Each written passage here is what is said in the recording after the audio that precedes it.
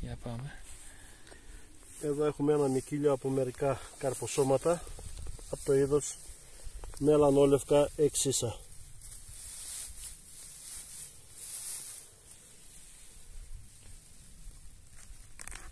Εδώ που έχει πολύ χόρτο παρατηρούμε ότι το είδος κάνει μακρύ πόδι. Oh, Συνήθως κάνει πολύ πιο κοντό πόδι.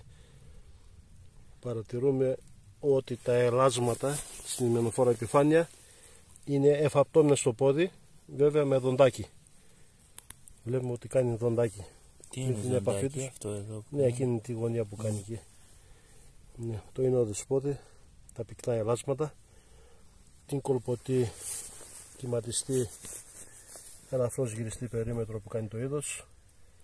Τα ελάσματα γίνονται λευκοπά, λευκά, λευκορόδινα στην οριμότητα κρέμ μερικές φορές. Τον ίδιο χρωματισμό κάνει και το πόδι. Το πόδι γίνεται κυλινδρικό σε όλες τις περιπτώσεις έως και 10 με 12 εκατοστά σε ύψος σε εξαιρετικές περιπτώσεις. Συνήθως γίνεται έως και 5 με 8 εκατοστά.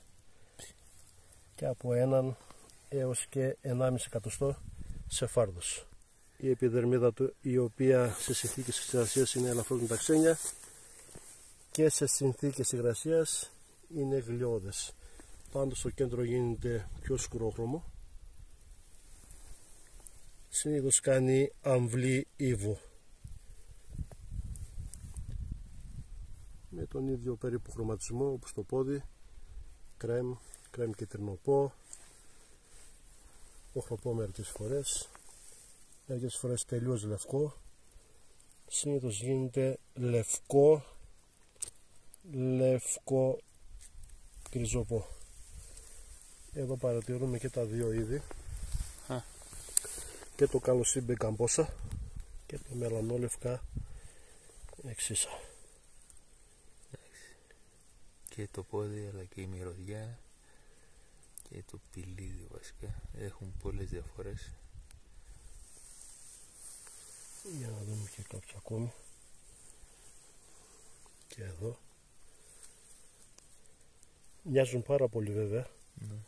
όταν το συγκεκριμένο κάνει κοντό πόδι πολλοί το περνάνε για το είδος καλοσύμπε καμπόσα Μικρή αυτό τρώγεται. καμιά σχέση μυρωδιά ε. αυτού του είδους με αυτό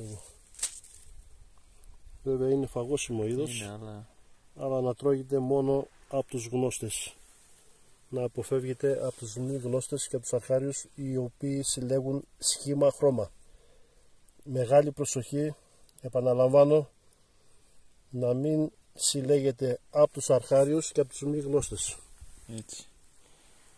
Γενικά πάντως οι μελανόλευκες εντάξει δεν είναι και πολλά.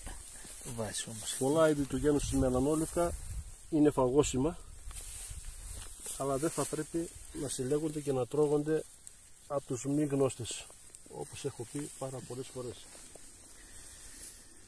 Τέλεια.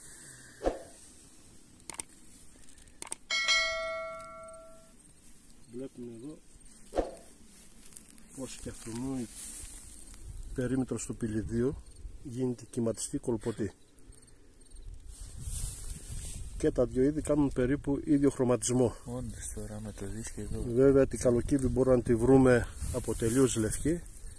Συνήθως γίνεται κρέμ, κρέμοχροπή. Καμιά φορά μπορούμε να τη βρούμε κίτρινη, κίτρινο, χροπή. Και σπάνια, πολύ σπάνια μπορούμε να τη βρούμε καφετιά.